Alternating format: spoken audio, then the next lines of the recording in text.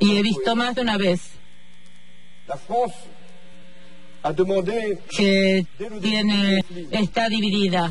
Francia ha solicitado desde el principio del conflicto que, su, que estén unidos para actuar.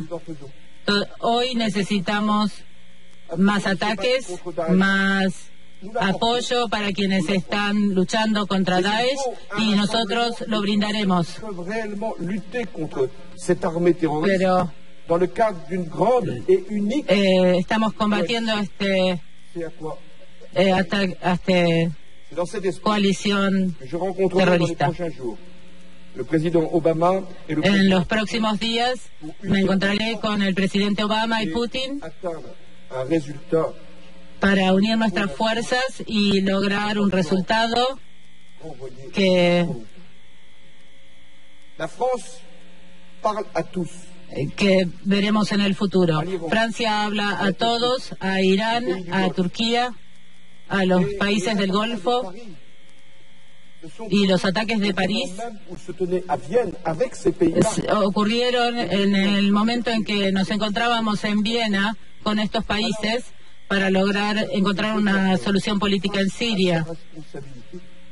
Y todos necesitamos compartir esta responsabilidad los países vecinos, otros, otras potencias, pero también Europa.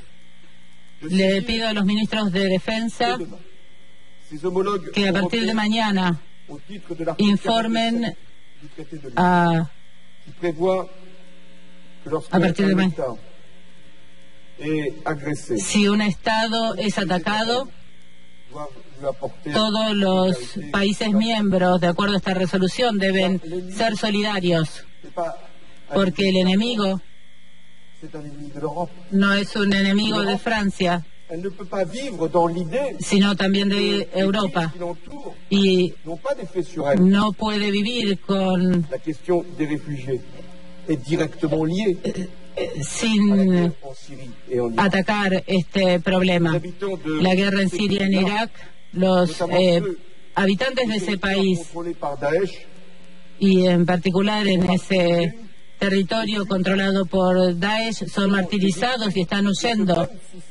Son las víctimas del sistema terrorista.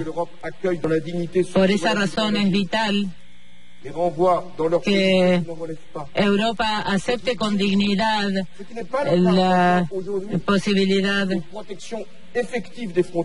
Esto no es el caso en el día de hoy.